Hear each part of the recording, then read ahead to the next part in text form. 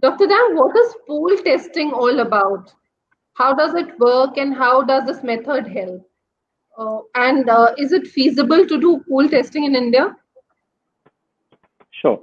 So pool testing is something that is very interesting. Even the ICMR had certain guidelines uh, and a circular was released for pool testing. So pool testing essentially means that you pool samples from multiple people and then you test them. So for example, if you have 100 people, instead of doing 100 tests, you will, if you take batches of five, so, so you pool them into 20 samples and then you run these 20 samples. If any one of these comes positive, then you test the five people who were in that particular pool again to specify which one is COVID-19 positive.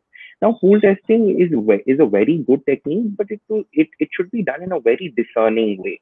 So only in containment areas, in hotspots, in certain certain populations where there is a very high prevalence or a very high disease bur- burden should a pool testing be done it cannot be done on an everyday basis for everyone but yes in certain conditions like i mentioned it is a very useful tool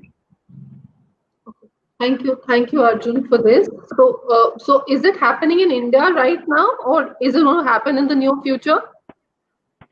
So the government is doing pool testing in certain areas, but it, none of the private labs, as far as I know, are doing pool testing as of now.